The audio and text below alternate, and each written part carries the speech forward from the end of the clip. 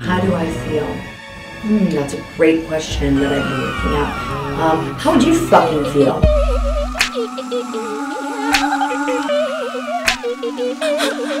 feel?